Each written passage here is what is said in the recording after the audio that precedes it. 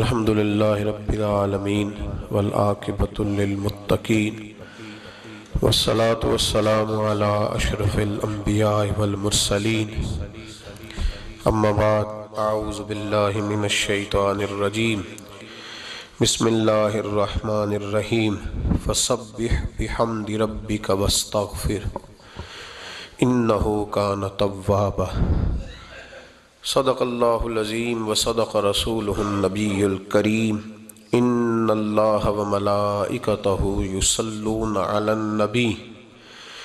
یا ایہا الذین آمنوا صلو علیہ وسلموا تسلیما. الصلاة والسلام علیکہ یا سید یا رسول اللہ. وعلى آلك وأصحابك يا سيدي يا حبيب الله. اللهم صل على سيدنا ومولانا محمد معدن الجود والكرم وعلى آله وأصحابه وبارك وسلم. تمام تعریفیں اللہ تعالی جل مجدہ الکریم کے لیے اور ہر قسم کے درود و سلام نبی رحمت سید عالم صلی اللہ علیہ وسلم کی ذات والا صفات کے لیے حمد و صلات کے بعد۔ انسان کا سب سے زیادہ تعلق اس کے رب کریم کے ساتھ ہوتا ہے۔ اللہ تبارک و تعالیٰ کی طرف سے اسے نعمتیں ملتی ہیں، رب کریم کی طرف سے اس پر عطائیں ہوتی ہیں۔ اللہ کی طرف سے وہ آیا ہے اور واپس اللہ ہی کی طرف لوٹ جائے گا۔ ابتدا بھی مالک کریم کی ذات ہے اور انتہا بھی اسی رب کریم کی ذات ہے۔ انسان دنیا میں جتنے بھی پیچ و تاب کرتا ہے، جتنی بھی دنیا داری کرتا ہے اور جتنے بھی معاملات میں وہ وقت گزارتا ہے، وہ سارے عارضی ہیں، وقتی ہیں۔ اور بہت ساری چیزیں تو صرف اور صرف دھوکہ ہیں اور دھوکے کے سوا کچھ بھی نہیں۔ اگر اس کا یہ ذہن بن جائے کہ میں نے اپنے تعلقات کو، اپنے معاملات کو اپنے رب کے ساتھ صحیح رکھنا ہے، تو جب اللہ کے ساتھ اس کے معاملات ٹھیک ہوتے ہیں تو بندوں کے ساتھ خود بخود ہی ٹھیک ہو جاتے۔ اگر خشیت الہی پیدا ہوتی ہے، خوف خدا اسے نصیب ہو جاتا ہے، اور اگر اللہ تبارک و تعالیٰ کا قرب اسے میسر آتا ہے، اس رستے کا یہ سفر شروع کر دیتا ہے، تو بندوں کے ساتھ تو معاملات ویسے ٹھیک ہو جاتے۔ ہیں اس لیے کہ جب اللہ سے ڈرے گا، نہ دھوکہ کرے گا، نہ فریب کرے گا، نہ جھوٹ بولے گا، نہ کسی شخص کے ساتھ بدیانتی کرے گا، جب اللہ کے ساتھ اس کا تعلق ٹھیک رہے گا۔ اور جب یہ اپنے آپ کو آزاد سمجھے گا نا کہ میں ہوں اور میں ہی ہوں اور میں نہیں چلنا ہے، تو پھر یہ اپنی مرضی سے معاملات کو چلائے گا تو خرابی پیدا ہوگی۔ اللہ تبارک و تعالیٰ کے ساتھ انسان کا جو رشتہ ہے، اس میں انسان کی کچھ کمزوریاں آڑے آتی ہیں، گناہ ہو جاتے ہیں۔ غلطیاں ہو جاتی ہیں۔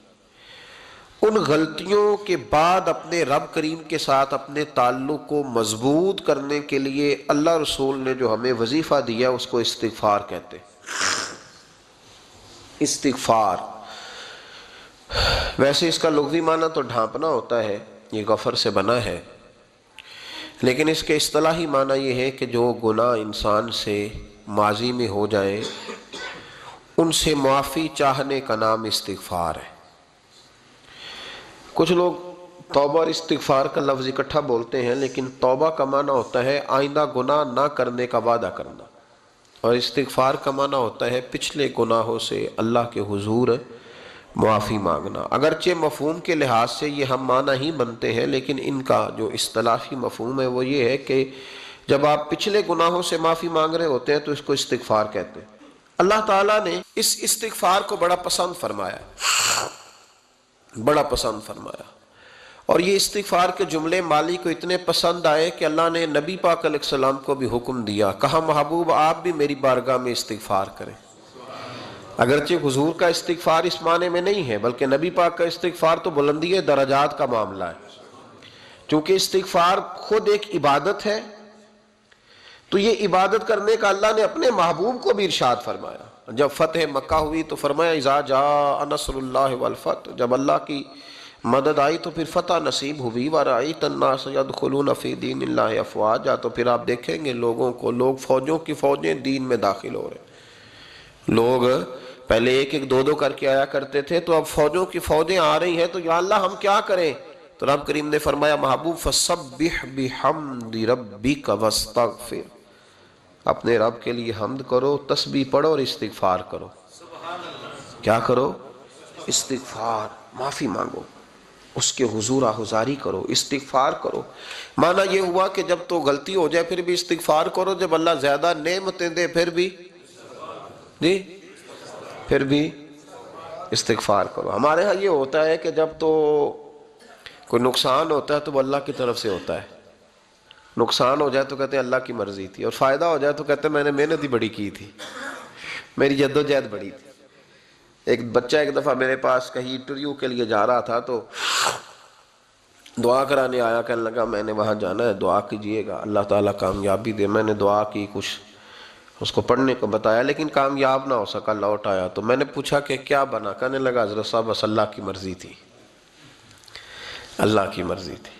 پھر ایک دفعہ گیا تو نہ اللہ کی مرضی تھی۔ تیسری دفعہ گیا، کامیاب ہو گیا۔ تو بھئی اب کیا بنا؟ کہنے لگا جی جب میں داخل ہوا تو اس نے جاتے ہی مجھ سے پوچھا سب سے پہلا سوال یہ کہ تمہیں جرنل نالج کی بھی کچھ معلومات ہے یا شعبے کے آدمی ہو؟ تو میں نے کہا، جناب، پوچھئے۔ تو انہوں نے پاکستان کا حدود اربا پوچھا تو میں نے فٹافٹ بتا دیا۔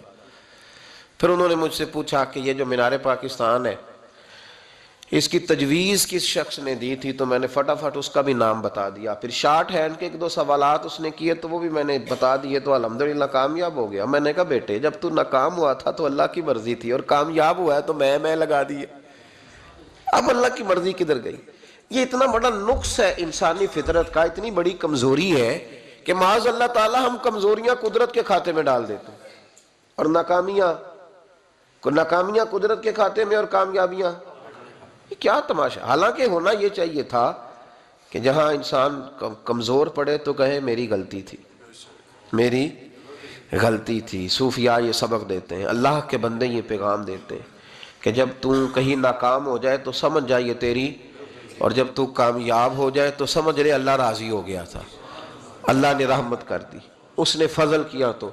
تو یاد رکھیں، استغفار کئی چیزوں پہ استغفار ہوتا ہے۔ کئی چیزوں پہ۔ اور استغفار کا نفع ملتا ہے۔ کیا نفع ملتا ہے؟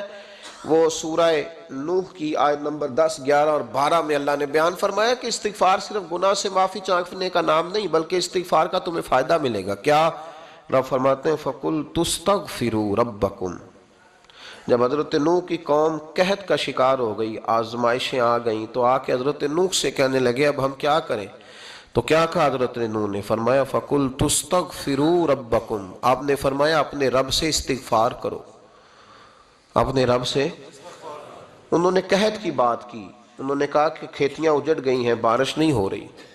قحط کی بات کی۔ آپ نے کیا کہا؟ استغفار کرو کیوں کہ انہو کانا غفارا۔ بے شک اللہ بڑا ہی بخشنے والا۔ وہ کیا کرے گا؟ یرسل السماء علیکم مدرارا۔ وہ تم پر موسلا دار بارش برسائے گا۔ جب تم استغفار کرو گے تو اللہ موسلا دار بارش برسائے گا، وہ یم دد کم اور وہ تمہاری مدد کرے گا۔ استغفار کرنے والے کی اللہ کیسے مدد کرے گا؟ بھی اموالم و بنین۔ تمہیں مال بھی عطا کرے گا اور بیٹے بھی عطا کرے گا۔ بارش بھی دے گا استغفار کرنے والے کو اور مال اور اولاد سے اس کی مدد بھی کرے گا، وَيَجْعَلْ جَنَّتٍ وَيَجْعَلْ انہارا اللہ تمہیں جنت بھی عطا کرے گا اور تمہیں نہریں بھی عطا فرمائے گا۔ تمہارے لیے جنت بھی بنائے گا، انہار بھی بنائے گا۔ توبہ کا، استغفار کا تمہیں یہ فائدہ ملے گا۔ ایک استغفار، ہمارے بزرگوں نے وہ لکھا ہے کہ جب انسان کو اللہ نعمتیں دیتا ہے تو پھر رب کا حکم ہے کہ اس پر شکر بھی کرے۔ نعمتوں پر اللہ کا شکریہ نہ کرنے پر بھی استغفار کرنا چاہیے۔ کہ اللہ تو نے بڑا کچھ دیا تھا، پر میں شکر ادا اس پر بھی۔ ہمارا تو اب یہ حال ہے کہ جو ہمارے پاس چیزیں ہیں، وہ ہم کہتے ہیں یہ تو میرا حق تھا۔ لیکن جو نہیں، وہ مجھے فٹافٹ ملنی چاہیے۔ مطلب اگر میرے پاس صحت ہے تو اس کو میں اپنا حق سمجھ لیتا ہوں کہ یہ تو میرا۔ یہ چونکہ ٹھیک ہے جی یہ تو صحیح ہے، تندرستی ہے، یہ تو ٹھیک ہے۔ لیکن کار کوئی نہیں، وہ ذرا مل جانی چاہیے۔ اولاد تو میرے پاس ہے، وہ تو میرا حق تھا، میرا رائٹ تھا، معاذ اللہ، وہ تو ہم نے حق بنا لیا۔ اور میرے پاس بنگلہ کوئی نہیں، وہ مجھے فٹافٹ مل جانا چاہیے۔ بھئی یہ کس طرح تیرا حق تھا؟ کس حساب سے؟ یعنی جو چیزیں ہیں، ان کو سنبھالنے کی فکر نہیں ہے۔ اور جو نہیں ہے، ان کے طلب کی فکر لگی ہوئی ہے۔ شکر نعمت کو محفوظ کر دیتا ہے۔ شکر نعمت کو محفوظ کر دیتا ہے اور ناشکری نعمت کو لائن شکر تم لازیدنکم ولائن کفر تم ان عذابی لشدید اللہ فرماتے شکر کر، میں تیری نعمتوں میں اضافہ کر دوں گا۔ اور ناشکری کرے گا تو عذاب دوں گا۔ شکر نہیں نہ ہوتا، شکر نہیں ہوتا۔ دیکھیں نا سو روپے ابا جی نے دیا، ایک بچے کو، اور اس کو کہا کہ جا دکان سے کچھ چیز لے آ۔ تو وہ سو روپیہ اس نے رستے میں جاتے کہیں پھاڑ دیا یا گوا دیا۔ تو اب وہ والد سے دوبارہ سو مانگتا ہے تو والد کہتا ہے کہ پہلے سو کا تو نے کیا کیا؟ نہیں سمجھ آئی آپ کو میری بات۔ پہلے سو کا کیا کیا؟ تو وہ کہے گا جی با میرا دل کرتا تھا، میں نے پھاڑ دیا۔ جوان بچہ ہے، سمجھدار ہے، بارہ چودہ سال کا ہے۔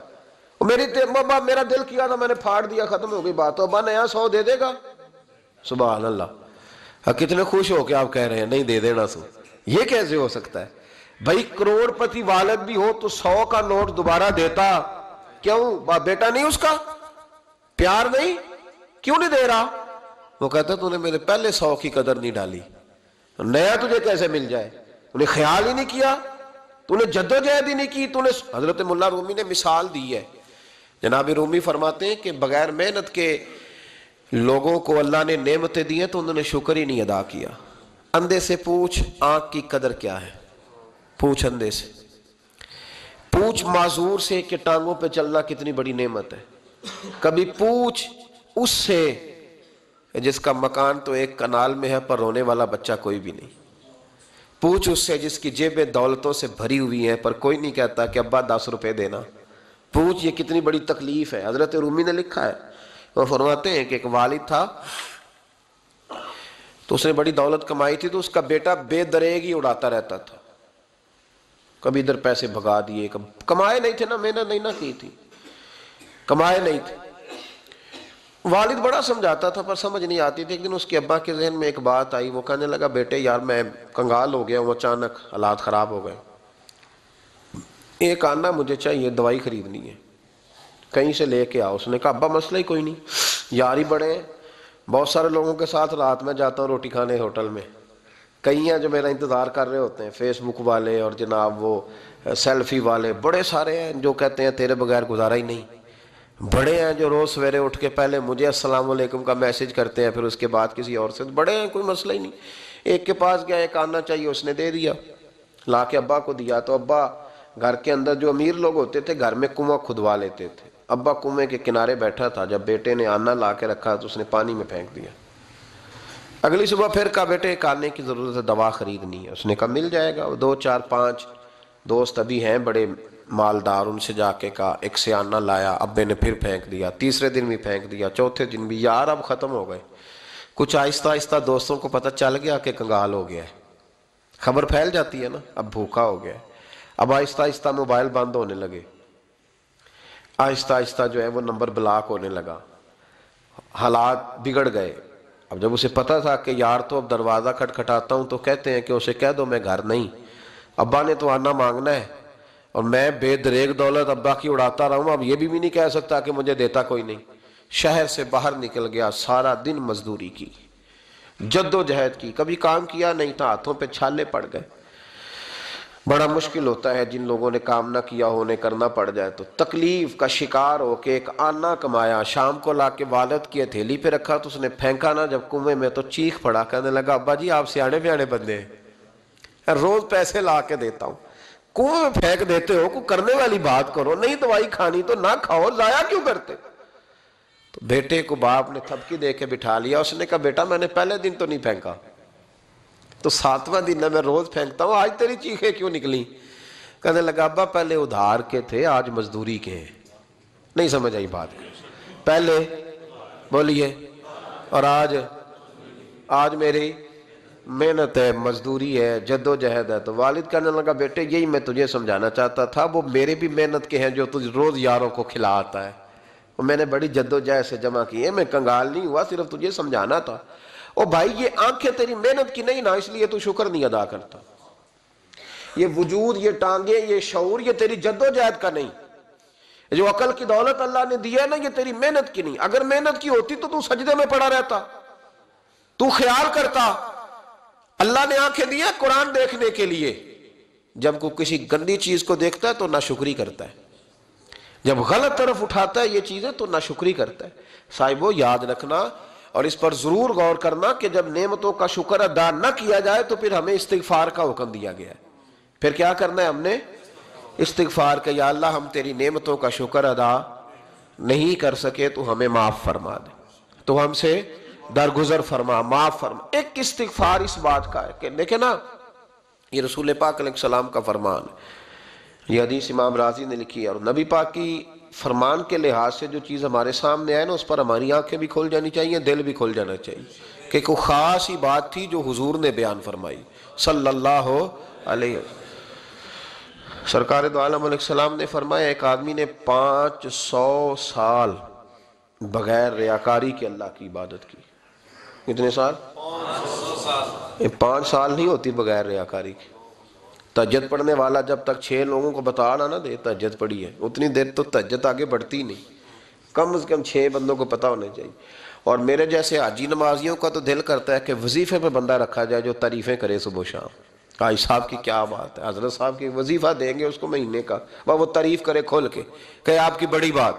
یہ یہ مرض ہے۔ تعریف سننا نا یہ بیماری ہے۔ اس نے جھوٹ کو جنم دیا ہے۔ بہت بڑا مرض ہے۔ حضرت سعدی نے اس پر بہت بڑے مقالہ جات لکھے ہیں اور فرماتے ہیں یہ مرض کچھ لوگوں میں بہت زیادہ ہوتا ہے۔ ایک امیروں میں امیر لوگ ناراض نہ ہو جائیں، پر انہوں نے کہا ہے تو کوئی حکمت ہوگی نا۔ امیروں میں تعریف سننے کا مرض بہت زیادہ ہوتا ہے۔ فرماتے ہیں کہ بادشاہوں میں اور تیسرا عورتوں میں۔ ان میں یہ بیماری بہت زیادہ ہوتی۔ ہے کوئی تعریف نہ نہ کرے تو خود اپنی کرنی شروع کر دیتے ہیں۔ خود ہی کہہ دیتے ہیں کہ کیا بات سی، میرے ابا جی تے وہ تے سو وال چلتا سی تے ڈوڑ سو بندہ ٹکر کر، ابا جی دی چھڑ تو دس تیرے کنے چل دیں تیرے کل کنے بندے روٹی کھانے اپنی بات کرنا، اقبال کہتے تھے تو وہ آباد تمہارے ہی، مگر تم کیا ہو؟ ہاتھ پہ ہاتھ درے، منتظر فرداؤ ابا جی کی دادا جی کے چھوڑ اپنی کر۔ ہمیں تو تیرا پتہ ہے، تو اپنی بات کر۔ تیرے اندر بھی کوئی چیز ہے کہ نہیں؟ ابا، دادا تو سب کے بڑے۔ ہیں حضرت آدم کی اولاد ہے تو حضرت آدم نبی تھے۔ تو باپ دادا تو سب کے بڑے بڑے ہی ہیں۔ بات یہ ہے کہ اپنی بات کرنی چاہیے نا۔ تو یہ بیماری ہے، یہ نقص ہے۔ پانچ سو سال بغیر ریاکاری کی عبادت۔ اور بیان میرے نبی کریم علیہ السلام فرما رہے پانچ، بولیے، یہ بہت بڑا مسئلہ ہے۔ دکھاوا نہ ہو، ریاکاری نہ ہو۔ ہم مجالس میں جاتے ہیں نا جناب، محافل میں۔ تو لسٹ ملتی ہے، یہ چوج صاحب نے صدارت ہے، انہوں نے خصوصی تعاون کیا ہے، تو یہ فلانے صاحب ہیں، تو ان کا بھی نام لینا ہے۔ تو میں کبھی کبھی کہہ دیتا ہوں کہ یار آپ نے تو کہا تھا یہ نبی پاک کی تعریف کی محفل ہے، اور یہاں آپ نے لسٹ لگا دی ہے پوری تعریف کرنے والوں کی۔ کچھ ضروری ہے کسی کا نام لینا اور اس کا جناب ذکر کرنا اور اشتہار پہ اس کی فوٹو آنا، یہ کچھ ضروری ہے؟ ویسے بھی کوئی اچھا لگتا ہے کہ نبی پاک کے نام کی محفل اور میں کو میں صدارت کر رہا ہوں۔ ڈرنا چاہیے نا مجھے اللہ تعالیٰ حضور کی محفل اور میری صدارت۔ اس پر کبھی غور کریں۔ اگر کوئی راہ طریقت کا مسافر ہوگا تو تڑپ جائے گا کہ نبی پاک کے نام کی محفل اور سرپرستی ایک ایسے آدمی کی جس کو وضو تک نہیں کرنا آتا۔ چھ مانا دار ہے۔ وہ دھندا ہے، معاذ اللہ تعالیٰ، جس کا جو دل کرے۔ وہ کرتا جائے۔ پانچ سو سال بغیر ریاکاری کی عبادت کی، پانچ بڑا مشکل ہوتا ہے۔ حضور فرماتے ہیں، یہی بندہ جب اللہ کے حضور کھڑا کیا جائے گا۔ تو رب کریم اس سے کہے گا کہ چلو اس کو میرے فضل سے جنت میں لے جاؤ۔ تو عرض کرے گا، مالک فضل تو ٹھیک ہے، پر پانچ سو سال لگائے ہیں میں نے۔ پانچ، وہ مولوی صاحب میری طرح کے بیچارے جو امام مسجد ہوتے ہیں نا، تو وہ بھی کہتے ہیں کہتے ہیں جب میں آیا تھا تو تیس بچے تھے مسجد میں، اب اسی ہو گئے۔ اور بھائی، یہ بندوں کو بتانے کی کیا ضرورت ہے؟ یہ تو اللہ کی رضا کے لیے ہے نا۔ تو چھوڑ، اس میں اتنا تذکرہ کرنے کی کیا حاجت؟ ہے پانچ سو سال جس نے لگائے، بول پڑا، یا اللہ پانچ سو سال لگائے اور تو کہتا ہے کہ اس کو میرے فضل سے لے جاؤ۔ تو رب کریم نے فرمایا، چلو کوئی نہیں، پھر انصاف کر لیتے ہیں۔ الٹی آنکھ کی روشنی نکال کے ترازو کے ایک پلڑے میں رکھو اور پانچ سو سال کی بغیر ریاکاری کی عبادت دوسرے پلڑے میں رکھو۔ کبھی اس مریض سے پوچھنا جس کو ڈاکٹر کہہ دیتا ہے کہ تیری آنکھ کا علاج نہیں ہو سکتا۔ بے بس ہوتے ہیں ڈاکٹر۔ جواب دے جاتا ہے شعور۔ پوچھ کبھی اس شخص سے کو کہتے ہیں بس ناب اب آپ اپنی آنکھیں موجود ہونے کے باوجود آپ دیکھ نہیں سکتے، اتنی موٹی آنکھ لگی ہوئی ہے۔ لیکن روشنی اللہ چاہے تو دیتا ہے۔ نہ چاہے تو نہیں دیتا۔ پانچ، ایک آنکھ کی روشنی ایک پلڑے میں رکھ لو اور دوسرے میں پانچ سو سال کی عبادت رکھ دی۔ اللہ اکبر۔ تو رب کریم نے فرمایا، اب تو لو جب تولی تو وہ عبادت تھوڑی تھی اور ایک نعمت زیادہ تھی۔ اللہ نے فرمایا، یہ تو بھائی اس کو تو پانچ سو سال دیے تھے، یہ تو ایک نعمت کا شکر نہیں ادا کر سکا۔ پکڑو اس کو دو میں ڈالو۔ ایک کر کے کیا آیا ہے؟ پکڑو، جہنم میں ڈالو اس کو۔ لے چلو۔ ترمیدی شریف کے لفظ ہے نبی پاک نے ہمیں سمجھایا۔ اور ایک جملے میں ساری بات ختم کر دی۔ حضور فرمانے لگے، تو اللہ کی تھوڑے دیے ہوئے رزق پہ راضی ہو جا، وہ بھی تیری تھوڑی عبادت سے راضی ہو جائے گا اور اگر تیرا پروگرام ہے نا، لمبی چوڑی جائیدادوں کا، تو پھر سجدے بھی لمبے کر پھر لمبے کرنا تو بھی۔ یہ کیا بات ہوئی؟ یہاں جتنی دولت بڑھتی جاتی ہے، عبادت سکڑتی جاتی ہے۔ وقت ہی نہیں ٹائم ہی نہیں۔ یہ بڑھا پھر۔ تو جب دوزخ میں جانے لگا نا، تو پھر خیال آیا۔ تو حضور فرماتے استغفار کرنے لگا۔ کہنے لگا، اللہ میں بھول گیا تھا۔ اللہ مجھے غلطی لگ گئی۔ استغفار کر رہا۔ تو جب اس نے استغفار کیا، تو رب کریم تو پہلے ہی بڑا قبول کرنے والا ہے۔ یا اللہ میں بھول گیا تو فرمایا چلو جو استغفار کرے اسے تو میں ویسے ہی معاف کر دیا کرتا ہوں۔ اسے بخش دو، اسے میرے فضل سے جنت میں لے جاؤ۔ پہلا استغفار، ہمارے بزرگ نے ایک مراقبہ کراتے تھے۔ مراقبہ، ان نفی خلق السماوات والارض واختلاف اللیل والنہار الایات لأول الالباب۔ مراقبہ ہوتا تھا اللہ کی نعمتوں پر غور کرنے کا نام۔ تو اکیلا بیٹھ، گردن جھکا۔ اور غور کر، خدا کا فضل کتنا ہے اور میری اس میں محنت کتنی اس کا شمار کر۔ اس طرح کر کے دو خانے بنا۔ ایک خانے میں اللہ کی نعمت رکھ اور دوسرے میں پھر اپنی محنت رکھ۔ اس کو کہتے ہیں مراقبہ۔ یہاں سے مراقبہ سٹارٹ ہوتا ہے۔ اور اگر تو تو شکر ادا کر رہا ہے تو پھر ٹھیک ہے، ورنہ پھر استغفار کر۔ پھر اللہ کے حضور معافی مانگ۔ پھر اس کے حضور آہوزاری کر۔ پھر اس سے کہہ کہ وہ معاف کرے۔ ہم لوگ یہ والا مراقبہ نہیں کرتے۔ اس لیے جو چیز ہے وہ تو میرا حق تھا، مجھے فٹافٹ دوسری بھی چاہیے۔ استغفار کریں اس لیے کہ ہم شکر ادا صحیح طور پر کر سکے پھر اس کے بعد دوسرا استغفار اس وقت ہوتا ہے۔ اللہ اکبر کہ جب انسان باشعور زیادہ ہو پر بے عمل بھی اتنا ہی زیادہ ہو، اسے بھی استغفار زیادہ کرنا چاہیے۔ اب میرے سمیت کسی بھی آدمی کو چھیڑیں گے نا تو دنیا اور معافی ہاں کی وہ باتیں کرے گا۔ لیکن جب اس کا عمل دیکھا جائے گا تو کچا سا، پل پلا سا، کمزور سا۔ یعنی ایسے لوگ ہیں جو ماں باپ کی عظمت پر چھ گھنٹے تقریر کر سکتے ہیں۔ لیکن اگر ان کی اماں سے جا کے پوچھا جائے کہ بیٹے کا حال کیا ہے؟ جی؟ تو کہتے ہیں بڑی تکلیف میں۔ اپنے بیٹے کے سبب سے وہ بڑی آزمائش کا شکار۔ بھئی تیری چھ گھنٹے کی تقریر کا معنی کیا ہوا؟ تو تو لفظوں کے گورک دندے کا ماہر ہے۔ لفظ، میں ادھر گیا ہوا تھا بڑی دور پنجاب کے ایک شہر میں، تو ایک صاحب مجھے کہنے لگے کہ میری اکیسویں سالانہ محفل ہے۔ میں نے کہا، آپ نماز پڑھتے ہیں؟ کہتے نہیں۔ تو میں نے کہا، محفل کا کیا معنی رکھا ہوا ہے آپ نے؟ یہ یہ کیا ہے؟ رسم ہے؟ فلاں بہت بڑے عالم کو میں نے بلایا، فلاں کو بھی بلایا، فلاں نات کا یہ کیا ہے؟ اگر تو نمازی نہیں آج تک، اس کو کیا سمجھتا ہے تو؟ میرے جی فلاں بزرگ سے بھی تعلقات ہے، تو تو نے کیا حاصل کیا ان سے؟ تعلقات کا کیا مطلب ہوتا ہے؟ فوٹو آتی ہے ساتھ، اخباروں میں تصویر لگ گئی فیس بک پہ آ گیا کہ میں ان سے ملا ہوں، اتنا تعلق ہے۔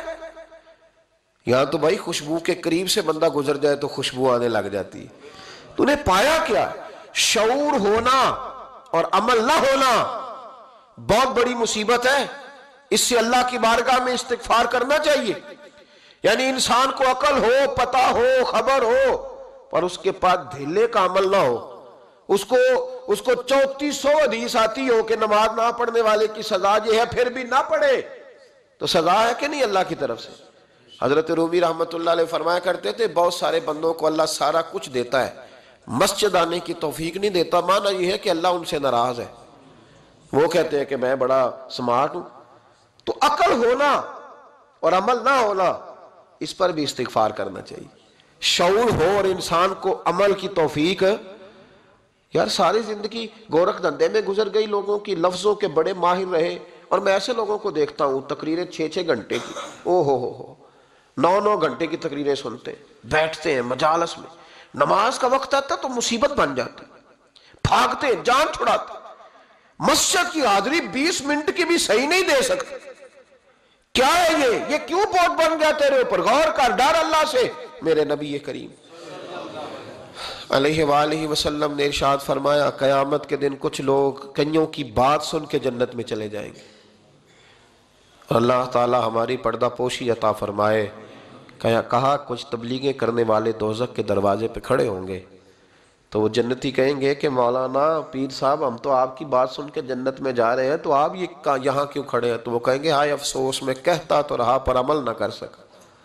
میں عمل اس سے مراد صرف ممبر پہ بیٹھنے والا مولوی نہیں، اس سے ہر وہ شخص مراد ہے جو نصیحتیں تو بڑی کرتا ہے، لیکن خود عمل وہ بہت بڑا الفاظ کا ذخیرہ رکھتا ہے، پر عمل کے لیے دو سجدے بھی صحیح طریقے سے دے سکتا۔ پھر وہ استغفار کرے پھر وہ اللہ کی بارگاہ میں معافی مانگے پھر وہ توبہ کرے اس لیے کہ جو جتنا بڑا ہوتا تھا نا، اس پہ خشیت بھی اتنی زیادہ تاری ہوتی۔ اس پر خشیت بھی اتنی جتنا حضرت عمر فاروق رضی اللہ تعالیٰ عنہ کو زخم لگ گیا، شدید زخم لگا، آپ گئے۔ بڑی زیادہ خون بہ گیا ہے، بہت سارے صحابہ آپ کے گرد جمع ہو گئے۔ حضرت عبداللہ ابن مسعود بھی آ گئے۔ تو جناب عمر رونے لگ گئے۔ اب تو رونا آتا ہی نہیں لوگوں کو۔ حضرت محی الدین ابن عربی کہا کرتے تھے، جس کو پورا ہفتہ ہو گیا ہے نا، وہ طریقت کا مسافر بھی جاگ رہے ہیں آپ حضرات۔ کہتے تھے، جس کو پورا ہفتہ ہو گیا نا، طریقت کا مسافر بھی ہے، پر اللہ رسول کی یاد میں رویا نہیں۔ فرماتے تھے، مجھے تو اس کے ایمان پر شک ہونے لگ گیا۔ کہ آٹھ دن ہو گئے، اسے خیال ہی نہیں آیا۔ حضرت عمر میدان میں جس شخص کے کبھی پاؤں نہیں لڑ کھڑائے اللہ رسول کی بات آتی تھی تو دریا بہتے تھے آنسو۔ یہاں حال ہی کوئی نہیں۔ خشک خوش جملے اور اور جناب موٹے موٹے تراشے ہوئے فکرے اور لفظوں کی ہیرا پھیری، اس کے علاوہ کوئی چیز نظر ہی نہیں آتی۔ حضرت عمر رونے لگے، آخری وقت ہے، تڑپ رہے ہیں، آنسو بہ رہے حضرت عبداللہ ابن مسعود آ گئے۔ انہوں نے کہا، عمر، تیری ہجرت بھی بڑی باکمال تھی، تیرا اسلام قبول کرنا بھی بڑا ہی باکمال تھا، حضور بھی تجھ سے ہمیشہ راضی رہے۔ عمر تو روتا کیوں ہے یار؟ بات تو یہ ہے کہ جب تو نے خلافت سنبھالی تو پھر تیرے طریقے بھی با کمال ہی تھے۔ اور جب تو میدان میں اترتا تھا پھر بھی تیرے معاملات با کمال تھے۔ اور جب تو مال غنیمت بانٹتا تھا پھر بھی تو با کمال یار ہر موقع پہ تو با کمال تھا تو جاتے دفعہ روتا کیوں ہے؟ ان کا استغفار دیکھو، ان کی توبہ دیکھو۔ حضرت عمر پھر رو پڑے۔ کہنے لگے، عبداللہ، لوگوں کو میری نیکیوں کا پتہ ہے، گناہوں کا تو نہیں نہ پتا وہ تو میں جانتا ہوں یا میرا مالک جانتا ہے نا۔ نیکیاں تو سب کے سامنے۔ پر من آنم کے من دانم جو اندر چھپے ہوئے گناہوں کے ڈھیرا وہ تو میں جانتا ہوں۔ کہا تو نے تو نے میرے کلمہ پڑھنے سے لے کر میری حکومت تک میری ساری نیکیاں گنوائی ہیں، اب دعا کر میرے لیے۔ کہ رب، میری نیکیاں اور بدیاں برابر برابر کر دے، مجھے درجہ نہیں چاہیے، بس اللہ مجھے معاف کر دے۔ درجوں کی ضرورت درجوں کی ضرورت نہیں ہے۔ یہاں تو لوگ درجات لے کے بیٹھے حافظ کہتا ہے کہ میں جتنے آیتیں ہوں گی، اتنے میرے درجے بلند ہوں گے۔ پہلے درجوں والا کام تو کوئی کرنا۔ مولانا کہتے ہیں کہ نور کے ممبر پہ بیٹھوں گا۔ بھائی، پہلے بتا نور کے ممبر کی طرف تیرا سفر بھی جاری ہے کہ نہیں؟ تاجر کہتا ہے کہ میں سخاوت کروں گا تو حضرت عثمان کے ساتھ جگہ ملے گی، پر حضرت عثمان کی سخاوت اور اپنی سخاوت کا فرق بھی دیکھ۔ مجاہد کہتا ہے کہ میں نبی پاک کے جہاد والے صحابہ کی پشت پہ رہوں گا تو پہلے اپنے کام تو دیکھ۔ اور جب ساری باتیں سمجھ میں نہ آئے تو پھر اللہ کی بارگاہ میں استغفار کر۔ پھر بیٹھ۔ بڑے لوگ استغفار کرتے، معافی چاہتے۔ اور یہ استغفار پھر اتنا کرم کرتا، اتنی آسانی کرتا، اس قدر بہتری کرتا کہ وہ مانگ تو اپنے گناہوں کی معافی رہے ہوتے تھے اور اللہ رحمتوں کے دروازے کھول دیتا تھا۔ اللہ ان پر کرم کے دروازے، حضرت امام حسن کے پاس ایک شخص آیا حضرت امیر معاویہ بھی بیٹھے تھے۔ تو اس نے امام حسن سے آ کے کہا کہ حضور اولاد نہیں ہے کوئی دعا کر دے تو جو ہے میری بات پر؟ اب بھی لوگ پیروں کے پاس آتے ہیں نا ماشاء اللہ سے۔ اللہ خیر فرمائے۔ تو پیر صاحب اگر وظیفہ بتائیں تو وظیفہ چونکہ پڑھنا پڑتا ہے وہ کام مشکل ہے۔ لہذا تویز تو پیروں نے بھی اب ماشاءاللہ بڑی ترقی کر لی انہوں نے بھی تویز چھپوا کے رکھ لی ہے کون لکھے اتنے تویز جو کہ ہر مرید کو تو تویز چاہیے۔ انہوں نے نا جی تویز پکے چھپوا لیے، کچھ نے مورے بنوا لیے۔ دیکھتا رہتا ہوں، میرا شعبہ ہے نا، میں دیکھتا رہتا ہوں کہ مور لگائی، اس کو باندھا اللہ خیر کرے گا۔ تو اب وہ نفسیاتی معاملہ ہے، ظاہر ہے، سو بندہ تمیز لے کے گیا ہے، تو ڈیڑھ کو تو فرق پڑے گا ہی نا بیچ میں سے۔ تو جس کو فرق پڑ گیا، اس کا فیس بک پہ دے دیا کہ یہ میری کرامت ہے جی۔ تو جس کا نہ پڑا۔ جی؟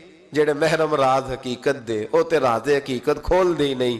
اے جنہ ویکھیا نہیں، او کرن گلاں، جنہ ویکھ لیا، او تے بول دے ہی نہیں۔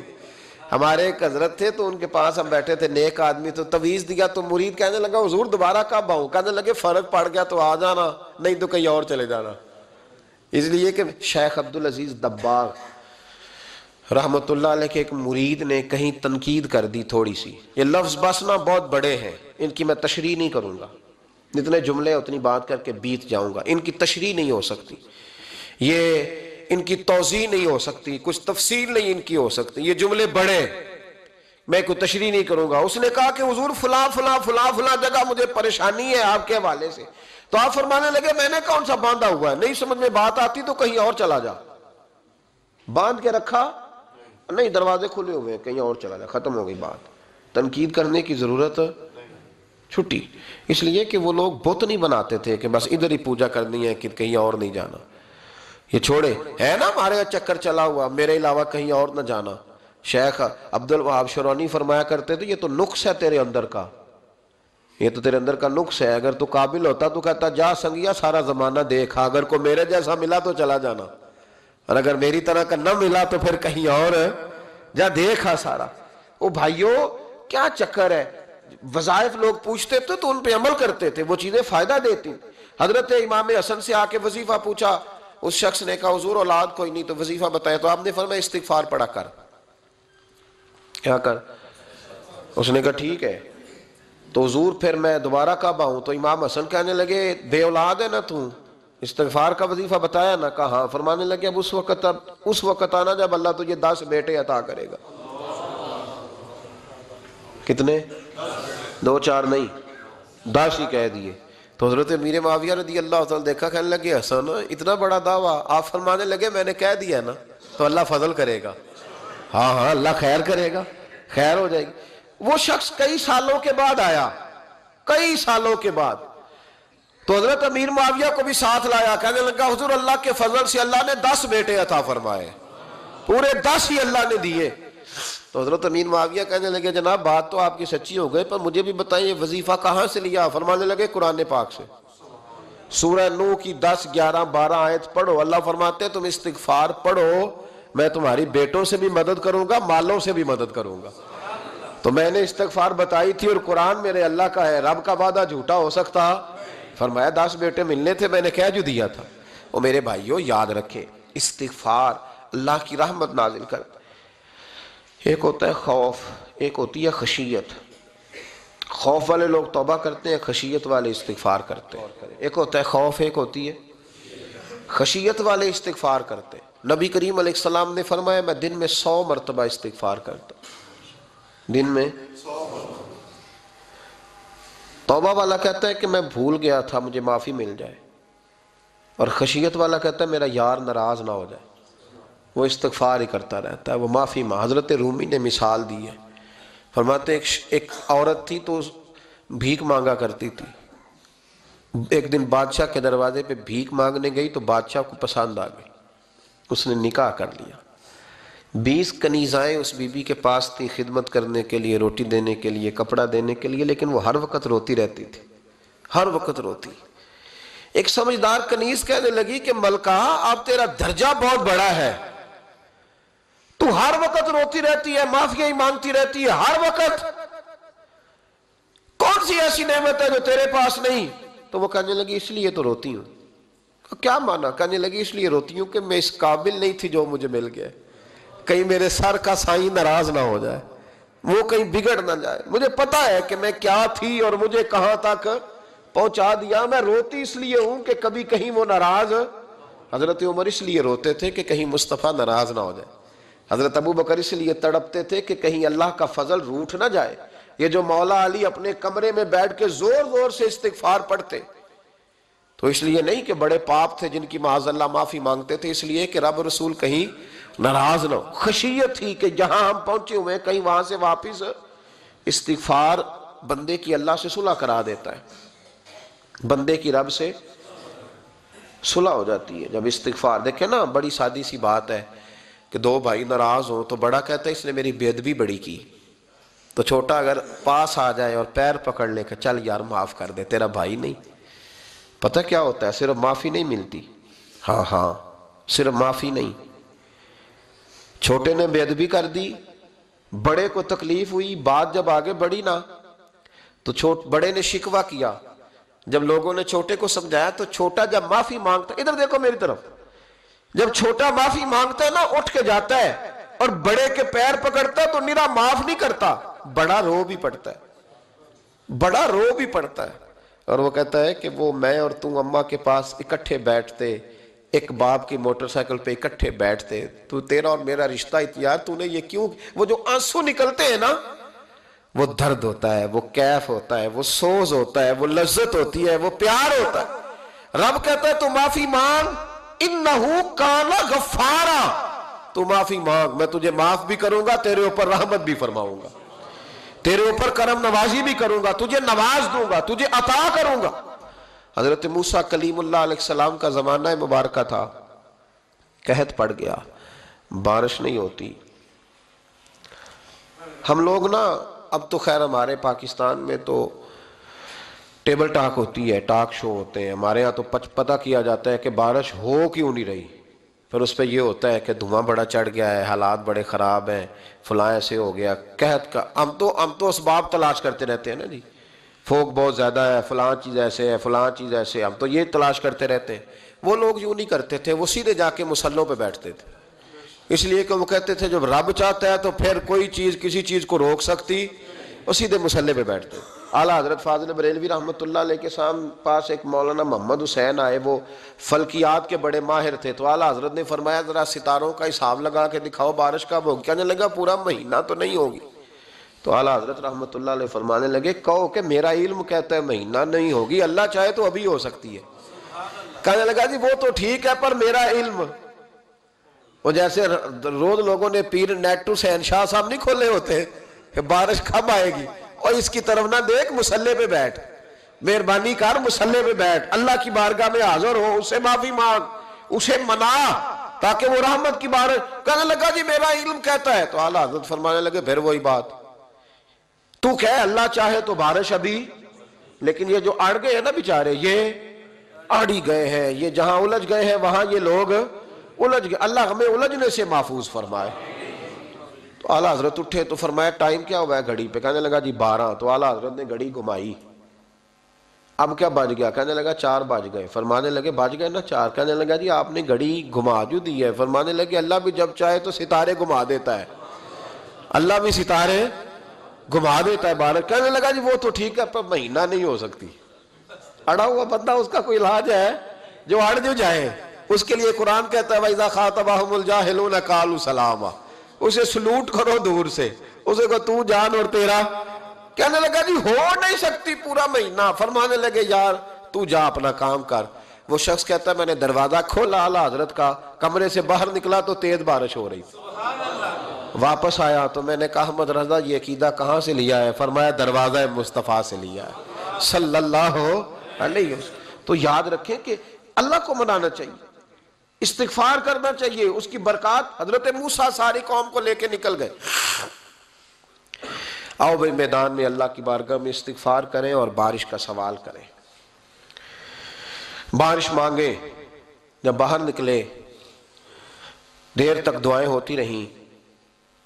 تو حضرت موسیٰ علیہ السلام کو رب کریم نے وہی فرمائی کہ موسیٰ، آپ کی قوم میں نے ایک شخص ہے جس کو چالیس سال ہو گئے نافرمانی کرتے۔ اس نے رب سے صلح نہیں کی۔ کتنے لوگ ہیں؟ ایک۔ اور چالیس سال سے وہ نافرمان ہے، اس کو مجمع سے نکال دو، بارش ہو جائے گی۔ اگر ایک گناہ گار کی وجہ سے بارش رک جاتی ہے اور جہاں دروازے کھلے ہوئے ہوں، جہاں تنہائیاں خوفناک ہوں، اور جہاں جہاں تباہی اتری ہوئی ہو، اور جہاں لوگ کروڑوں روپیہ مال ہڑپ کر گئے ہوں، اور جہاں علماء کو ہاتھ کڑیاں لگا کے ٹھنڈی زمینوں پہ لٹا دیا جائے اور قوم کہہ رہی ہو اچھا ہوا اچھا ہوا، اور لوگ پھبتیاں اڑا رہے ہوں مزاق کر رہے ہوں۔ تو پھر اس قوم پہ کس طرح کر کے فضل الہی، اور یہ یہ مولوی کا معاملہ نہیں، یہ تو ممبر رسول کا معاملہ ہے۔ میرے مصطفیٰ نے یہ نہیں کہا، پیر میرا وارث ہے۔ حضور نے فرمایا، عالم میرے دین کے وارث ہے ہاں ہاں حضور نے فرمایا، جس نے عالم کے چہرے کا دیدار کیا، سمجھے میں نے اپنے نبی کی زیارت کی ہے۔ لیکن یہاں تو خیر یہ عنوان نہیں، ورنہ میں اس پر جاتا۔ ہائے، تو کہا ایک بندہ ہے چالیس سال سے اللہ کی نافرمانی کر رہا ہے؟ وہ اگر نکل جائے تو بارش ہو جائے گی۔ حضرت موسیٰ نے اعلان کر دیا بھی ایک شخص ہے۔ وہ اگر نکل جائے تو بارش ہو جائے گی۔ پتہ تو ہوتا ہے نا سب کو۔ مجھے بھی پتہ ہے کہ میں اندر سے کیسا ہوں اور آپ کو بھی۔ خبر تو ہوتی ہے نا جی۔ جب بات ہو رہی ہوتی ہے تو پھر پتہ تو چلتا ہے نا کہ بات کہاں جا کے سیٹ ہو رہی ہے۔ پتہ چلتا ہے نا؟ اسے بھی چل گیا پتہ۔ اب اندر ہی اندر رونے لگا۔ اور دیکھو، امام راضی اور امام غزالی دونوں نے لکھا ہے کہ اس درد سے رویا، اس درد سے کہ ادھر والے کو بھی پتہ نہ چل جائے۔ مجمع کے اندر کھڑا ہے۔ اور ادھر والے کو بھی استغفار دیکھو۔ ادھر والے کو بھی پتہ نہ چل جائے اور ادھر والے کو بھی کہیں ہجوم میں غم میں بھی توہین نے ضبط غم نہ ہوئی۔ ہم اس احتیاط سے روئے کہ آنکھ نم نہ ہوئی۔ ہجوم میں غم میں بھی توہین ضبط غم نہ ہوئی۔ ہم اس احتیاط سے روئے کہ آنکھ نم نہ ہوئی، روئے بھی پر کسی کو آنسو نہیں دیکھنے دیے۔ اب اس درد سے کہتا ہے، اللہ، تو تو معاف کرنے والا ہے نا۔ تو تو معاف کرتا ہے، پردہ پوشی کرتا ہے، اور مالک اگر لوگوں کو پتہ چل گیا تو میرے تو بچوں کا بھی جینا حرام کر دے گا یا اللہ، میری تو آنے والی نسل بھی تڑپ کے وقت گزارے گی۔ مالک، تو معاف کر دیا کرتا ہے، لوگ نہیں معاف کرتے۔ اے اللہ یہ میری خوبیاں بھول جائیں گے میری خامیوں پر بات۔ مالک میں یہ ذلت نہیں برداشت کر سکتا۔ فضل فرما۔ حضرت موسیٰ نے دوبارہ اعلان کیا۔ نکلتے ہو کہ نہیں نکلتے؟ پھر تڑپا۔ خدا بندہ مجھے بے آبرو نہ کر۔ یہ ذلت اور رسوائیاں یہ, یہ نہیں برداشت ہوتی۔ اللہ درگزر حضرت موسیٰ نے تیسرا اعلان کیا۔ نکلتا ہے یا میں پھر اس کا نام لوں؟ اللہ سے پوچھ کے نام لوں اس کا بتاؤ کون ہے؟ اب تو تڑپ گیا کہنے لگا، مالک، میں تیری بارگاہ میں استغفار کرتا ہوں، آئندہ نہیں کرتا۔ آئندہ نہیں کرتا، یہ لفظ ادا کیے، بندہ کوئی بھی نہیں نکلا، رب کریم نے بارش عطا کر دی۔ تیز بارش، جب برسی نا، تیز بارش۔ تو لوگ تو می دیکھ کے دوڑ گئے، تو حضرت موسیٰ کہنے لگا یا اللہ، مجھے بھی تو بتا، تو نے کہا تھا کہ جب تک بندہ نہیں نکلتا، بارش نہیں ہوگی، تو نکلا کوئی بھی نہیں، بارش ہو گئی ماجرہ کیا ہے؟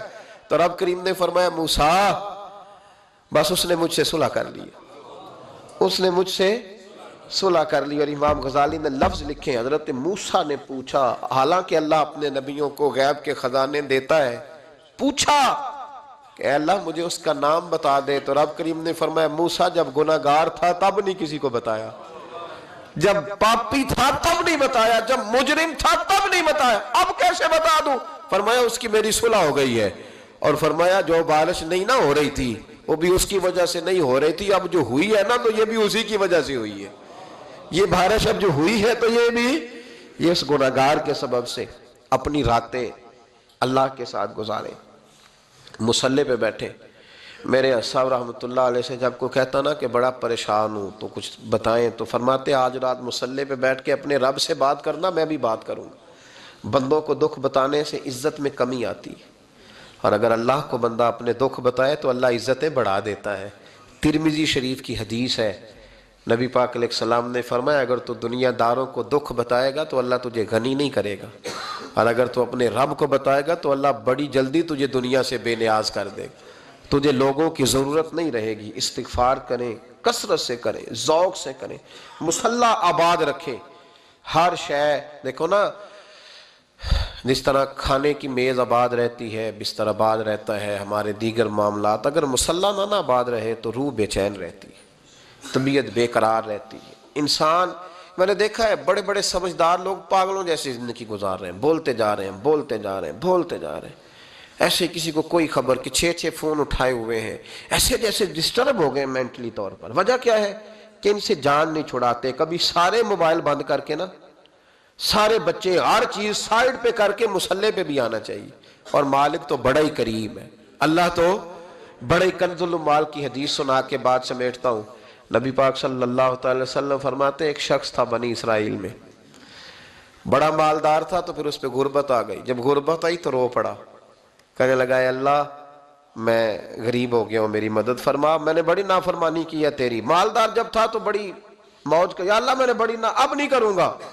مجھے مجھے مجھے اس غربت سے نکال تو اللہ نے فرشتوں سے کہا کہ دے دو جو مانگتا ہے تو فرشتے کہنے لگے، یا اللہ یہ توبہ کر کے نہیں آیا، ڈر کے نہیں آیا، یہ تو الجھ گیا، تب آیا ہے۔ یہ تجھ سے ڈر کے ہوتا ہے نا ایسے کہ لوگ اللہ سے نہیں ڈرتے جتنا غربتوں سے معاذ اللہ ڈرتے ہیں۔ یا اللہ یہ تو وہ الجھ گیا، تب آیا تو اللہ نے فرمایا پتا مجھے بھی ہے، لیکن آ تو گیا ہے نا۔ چلو دے دو۔ تو کہا، یا اللہ اگر دے دیا تو دوبارہ نہیں آئے گا۔ فرمایا، اس کا بھی مجھے پتا ہے۔ تم دے دو۔ اسے دے دیا۔ جب دولت مل گئی نا تو کہنے لگا خو وہ تو میں نے میں نے اس طریقہ سے استعمال کیا، اس لیے کامیاب ہو گیا۔ پھر کچھ وقت گزرا تو پھر الجھ گیا، پھر قرضے چڑھ گئے، پھر سارے علاج کر۔ کہنے لگا، یا اللہ، اب نہیں کرتا۔ اب معاف کر دے۔ ستر دفعہ توبہ کی اور ستر دفعہ توڑی۔ حبیب کریم فرماتے، ایک دن بستر پہ تھا، آسانی تھی۔ ستر دفعہ فرشتوں نے کہا، یا اللہ، یہ جھوٹا ہے، جھوٹ بولتا ہے۔ یہ تو غربت آئی ہے تو تیری بارگاہ میں آیا ورنہ کبھی نہ آتا۔ بیمار ہوا ہے تو آیا، اس کا تو بچہ بیمار ہوا ہے تو آیا، ورنہ کبھی نہ آتا۔ ستر دفعہ توبہ توڑی، ایک دن رات کو بستر پہ لیٹا تھا، دولتیں بھی تھی آسانیاں بھی تھی دل میں خیال آیا، میں کتنا جھوٹا ہوں۔ جب الجھ جاتا ہوں تو اس کے دروازے پہ جاتا ہوں اور وہ کتنا قریب ہے۔ مجھے خالی نہیں لوٹاتا، تڑپ اٹھا، آنسو نکل گئے، اٹھ کے مسلح پہ کھڑا ہوا۔ تو رب کریم نے فرشتوں سے فرمایا، کھول کے دیکھو دروازے۔ آج یہ غربت کی وجہ سے نہیں آیا، آج میرا بن کے آیا ہے۔ تو یا اللہ، پہلے تو دولت دیتا تھا، آج کیا دے گا؟ تو محبوب فرماتے، اللہ فرماتے، ہم نے اسے بغیر حساب کتاب جنت عطا کرو۔ استغفار کریں، اس کے حضور حاضری دیں۔ جس طرح سارا کچھ چھوڑ چھاڑ کے لوگ کہتے نہیں کہ ایک مہینہ میں نے کسی سیاحتی مقام پہ رہنا ہے۔ میں نے اب کسی ٹھنڈے علاقے میں چلے جانا ہے، برف باری دیکھنی ہے، سیر کرنی ہے، دس دن کی چھٹیاں وہاں گزارنی ہے چلو سات چھٹیاں وہاں گزار لو، تین دن اپنے اللہ کے ساتھ گزارو۔ روزے رکھو، دن کو، رات کو قرآن شریف پڑھو، تلاوت، کچھ وقت دو اللہ کے ساتھ حضور پر درود و سلام بھیجنے کے لیے، نبی پاک کی نعت کے لیے، اذکار کے لیے، بزرگوں کے لیے۔ پھر دیکھنا اللہ روح کو کتنا سکون دیتا ہے۔ آخر دعویٰ یعنی الحمدللہ رب العالمین۔